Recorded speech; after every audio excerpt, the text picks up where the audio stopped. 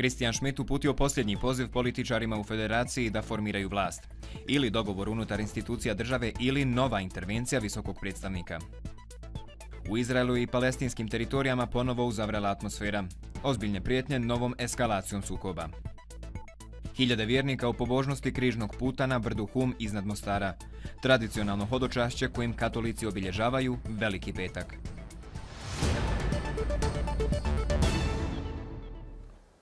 Dobro večer, pratite treći dnevnik.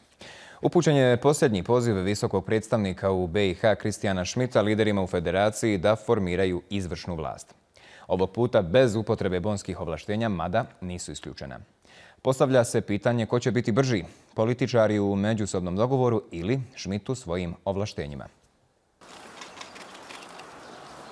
Dugo najavljivano, a od nekih i prizivano očitovanje visokog predstavnika glede zastoja u formiranju izvršne vlasti u federaciji se desilo, ali ne u pravcu u kojem su pojedini najavljivali ili očekivali, s obzirom na to da su ga neki učesnici u vlasti prizivali da čvor koji je svezao sada i odveže. Umjesto toga, lopticu odgovornosti vratio je domaćim liderima. Odgovorni političari moraju konstruktivno raditi bez obzira jesu li u vlasti ili u opoziciji, bez obzira na koga se ovo odnosi. Budite sigurni, ovo je zadnji poziv da se urazume. Očekujem da će se ovo uskoro uspješno riješiti a rok je istekao za formiranje nove vlade, a mandat staroj navršio je punih osam godina. Oni od kojih Schmidt očekuje dogovor rješenje ne nalaze, niti je izvjesno da će se to uskoro dogoditi, jer komad vlasti svima je bitan. Federacija se nalazi u političkom zastoju, nalazi se u rascijepu između političkih blokova, jer se ovdje ne radi o suštinskom neslaganju u strukturi federacije ili uloge konstitutivnih naroda i ostalih, to jest drugih naroda koji žive u federaciji BiH. Ovdje se radi o borbi političkih stranaka za moć, a ne o borbi za opstanak naroda. A u toj borbi čini se sve dopušteno. S obzirom na poteze onih od kojih se dogovor traži, cilj izgleda opravdava sredstvo. Maksimalistički zahtjevi, etno-nacionalističke taktike za strašivanje i neprihvatanje političke realnosti neće pomoći da federacija krene naprijed. Ovaj trenutni zastoj ne može potrejati. Federacija mora funkcionirati jer nam je jaka federacija potrebna za funkcioniranje države. Bosni i Hercegovini pružena je šansa dobijanjem kandidatskog statusa, poručuje Schmidt. A mi podsjećamo da je iz Evropske unije jasno naglašeno da se taj status dodjeljuje isključivo zbog građana ove zemlje, a ne zaslugama beha političara na tom putu. Zbog toga je vjerovatno i Schmidt u svom obraćanju fokus stavio upravo na građane i njihovu volju izraženu na oktobarskim izborima. A na putu te volje Schmidtova namjera je jasna. Neće biti nekog dodatnog, konačnog poziva. A nakon obraćanja Kristijana Šmita uslijedile su reakcije iz političkih stranaka. SDA smatra da se visoki predstavnik Kristijan Šmit ne treba upustiti u novo nametanje izmjene Ustava Federacije BiH, već da do formiranja nove vlade mora doći isključivo političkim dogovorom. Njegova najava da će u slučaju da ne dođe do dogovora nametnuti novo rješenje samo ohrabruje stranke trojke da nastave blokirati procese, očekujući da će ih upravo visoki predstavnik svojom odlukom dovesti na vlast, što je nedopustivo. Iz ove stranke upozoravaju da insistiranjem na striktnom poštivanju ustava SDA ne blokira procese i da blokade proizvode HDZ, BiH i Trojka Plus, koje odbijaju politički dijalog.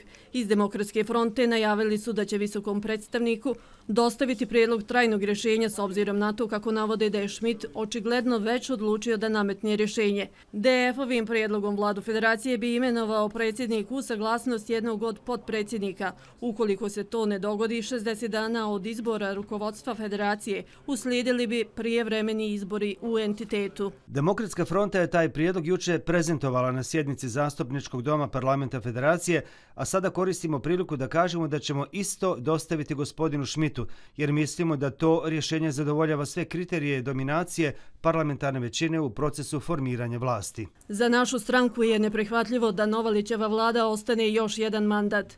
Potrebno je rješenje koje će biti fokusirano ne samo na deblokadu formiranja vlasti, nego i na deblokadu zakona koje usvoji predstavnički dom. Rješenje koje smo predložili za državni nivo odnosi se na ukidanje Doma naroda. Tim ukidanjem ne bi bio ugrožen ničiji vitalni nacionalni interes. Svaki narod bi u predstavničkom domu Bosne i Hercegovine formirao svoj klub za zaštitu nacionalnog interesa koji bi funkcionisao po istom principu kao i do sada, te bi, ako postoji neslaganje o vitalnom nacionalnom interesu, o tome odlučivao Ustavni sud Bosne i Hercegovine. Iz Naroda i pravde podsjećaju na usvojenu inicijativu parlamentarne većine u federaciji kojom se traži hitno deblokiranje svih procesa i puna uspostava vlasti, čime bi se provela izborna volja građana koji su apsolutno povjerenje na proteklim izborima dali strankama koje imaju većinu u oba doma parlamenta federacije. Podsjećamo podpredsjednika Federacije Bosne i Hercegovine Refika Lendu da je izabran glasovima upravo one parlamentarne većine koja je danas jedina u mogućnosti uspostaviti vlast u Federaciji BiH. Glasajući za izbor Lende, pokazali smo punu političku odgovornost što danas očekujemo i od svih drugih političkih aktera u Federaciji Bosne i Hercegovine. Iz SDP-a nije bilo reakcija nakon obraćanja visokog predstavnika u BiH. Premijer Hrvatske Andrej Plenković komentarisao je za jutarnji list aktuelnu političku situaciju u Bosni i Hercegovini, izrazivši nadu u brzo formiranje federalne vlade. Dodaje da će u junu biti zajednička sjednica Vijeća ministara BiH na čelu sa Borjanom Krištom i Hrvatske vlade u Zagrebu, na kojoj će biti govora o unapređenju odnosa. Također kazao je da visoki predstavnik u Bosni i Hercegovini sigurno nije sretan zbog posljednjih protesta pred Ohajrom, te je još jednom napomenuo da su u Zagrebu izlobirali prvobitnu odluku Kristijana Šmita. Ministar vanjskih poslova Bosne i Hercegovine Elmedin Konaković sastao se sa ministrom vanjskih poslova i međunarodne saradnje, međunarodne saradnje Ujedinjenih Arabskih Emirata šejkom Abdullahom bin Zajedom en Nahajanom. U fokusu razgovora bilateralni i ekonomski odnosi i saradnja te moguće investiranje Ujedinjenih Arabskih Emirata u BiH. Obostrano je iskazana spremnost za što skorije potpisivanje sporazuma o ekonomskoj, trgovinskoj i tehničkoj saradnji. Također, Ministar vanjskih poslova Ujedinjenih Emirata susreo se i sa članovima predsjedništva BiH, Denisom Bečirovićem i Željkom Komšićem. Između ostalog, razgovarano je o mogućnostima unapređenja saradnje na investicijskom i privrednom planu. Ministar N. Nahajan informisao je članove predsjedništva Bosne i Hercegovine da će u narednom periodu doći do liberalizacije viznog režima za sve državljane BiH da bi mogli putovati u Ujedinjene Arabske Emirate bez viza. Dvije Izraelke su ubijene, a jedna je teško ranjena u napadu na okupiranoj zapadnoj obali, dan nakon što je izraelska vojska izvela zračne napade na ciljeve koji pripadaju palestinskoj ekstremističkoj grupi Hamas u pojasu Gaze i u Južnom Libanu. Privremene snage Ujedinjenih naroda raspoređene u Južnom Libanu kao tampon između dviju zemalja saopštile su da je situacija ekstremno ozbiljna i pozvale na suzdržanost da bi bila izbjegnuta dalja eskalacija.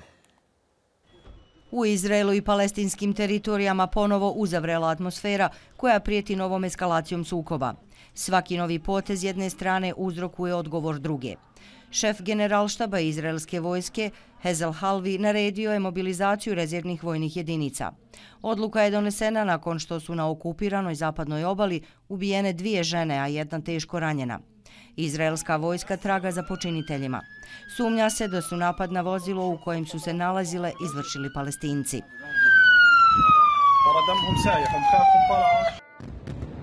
Napadu su prethodili sinoćni zračni napadi izraelske vojske na jug Libana. Gađali su Izraelci, kako navode, infrastrukturu Hamasa koji upravlja pojasom Gaze i neće mu dozvoliti da vrši napade iz Libana. Pozivamo na smirivanje situacije i preduzet ćemo snažne mjere protiv ekstremista koji tu vrše nasilje, ali što se tiče agresije protiv nas na drugim frontovima, uzvratit ćemo našim neprijateljima. Platit će cijenu za svaki čin agresije. Padali su projektili blizu palestinskog izbjegličkog kampa u blizini libanskog grada Tira. Spavali smo kada je raketa u četiri sata pogodila zgradu i oštetila je, kao da je bio smak svijeta. Sve je razoreno. Spavao sam kada sam osjetio udar eksplozije. Krov kuće mojih roditelja se srušio. Onda je došlo do druge eksplozije u kojoj je kuća uništena i voćnjak je oštećen. Pojačao je Izrael udare u pojasu Gaze. Ogromna šteta pričinjena na stambenim, obrazovnim te zdravstvenim objektima, uključujući i dječiju bolnicu. Bili smo iznenađeni salvom izraelskih projektila na stambene objekte rano jutros. Bombardovanje je izazvalo paniku i strah među stanovništvom, posebno djecom. Sve je to odgovor Izraela na baražnu vatru iz Libana za koju okrivljuju Hamas. Inicijalna kapisla za novu spiralu nasilja bili su ovosedmični incidenti u Jerusalemskoj džami El Aksa, gdje je izraelska policija pretukla palestinske vjernike. Istražioci Ruske federalne službe sigurnosti zvanično su optužili Ivana Gerškovića za špionažu u korist Sjedinjenih država. Dopisnik američkog dnevnika Wall Street Journal negira optužbe i tvrdi da je samo obavljao novinarski posao. U saopštenju FSS se navodi da je Gešković uhapšen 30. marta u gradu Jekaterinburgu i da je pokrenut postupak za špionažu protiv njega zbog prikupljanja, kako se navodi, državne tajne o vojno-industrijskom kompleksu. Američki dnevnik negira da je Geršković vršio špionske aktivnosti i traže njegovo hitno oslobađanje. Predvođeni sveštenstvom hiljada vjernika učestvovalo je u pobožnosti križnog puta na brdu Hum iznad Mostara. Križni put je tradicionalno hodočašće kojim katolici obilježavaju Veliki petak, kršćanski spomendan muke i smrti Isusove. Na Veliki petak crkve i oltari ogoljeni su. Tuguje se nema svetih misa, jer je tog dana, kažu njegovi sljedbenici, Isus na Kalvariji dao krvnu misu, dao život svoj za spas čovječanstva. Isusa su bićevali, natovarili na njega križ, natovarili njegovu osudu oko njegovog vrata. Isus je na križu visio e, nakon bićevanja, nakon ponižavanja, e, nakon osude, nosio je svoj križ do Kalvarije, tu su ga pribili na križ. Kako pati, sinjoj na križ, Otud križ na leđima vjernika, prolazeći 14 postaja, u molitvi sebi posvješćuju koja je to cijena njihovog spasenja i otkupljenja. A to je da je sam Bog postao čovjekom i da se u svemu solidarizirao s čovjekom, ali ne samo da se solidarizirao, nego je zapravo mukom i smrću e, na križu, onom najokrutnijom smrću prihvatio na sebe sve ono što nije dobro kako bi čovjeka spasio i odkupio. Mnogi vjernici iz šest mostarskih župa na križnom su putu svake godine. Pa za svakog katolika ovo je prava stvar. Jer Uskrs je najveći katolički blagdan. Čaba bi bio i Božić i rodio se da nije Uskrsno. Puno da ovim danom obilježimo muku koji je ispodnio za nas. Puno mi znači ovako svake godine idemo na, na križni put s prijateljima. Crkva vjeruje da svako ko aktivno učestvuje u pobožnosti križnog puta dobija brojne milosti i potpuno oprost grijeha ako se taj dan i ispovjedio te pričestio. A veliki petak s velikim četvrtkom i velikom subotom čini vazmeno trodnevlje u oči Uskrsa, Uskrsnuća Isusovog. Kratko ćemo i o sportu. 25. kolo nogometne premijer Lige BiH otvorila je utakmica između Sarajeva i Dobojske sloge. Ekipe su remizirale rezultatom 1-1. Dok čeka na završetak radova na Košavu, Sarajevo je slogu dočekalo na Zeničkom bilinom polju. Zbog uskrsnih blagdana većina susreta igra se u subotu, a parovi su Posuše Sloboda, Velež Leotar, Borac Zrinski i Željezničar Tuzla City. Kolo će biti kompletirano u ponedeljak kada se sastaju Široki brijeg i Igman. I za kraj vremenska prognoza. Sutra u Bosni pretežno oblačno, a u Hercegovini umjereno do pretežno oblačno vrijeme. Tokom dana lokalno sa slabom kišom, a na planinama može pasti i malo snijega. Jutarnja temperatura od minus 1 do 7, a dnevna od 7 do 13, na jugu do 16 stepeni. Pratili ste treći dnevnik federalne televizije. Hvala na pažnji i ugodna noć.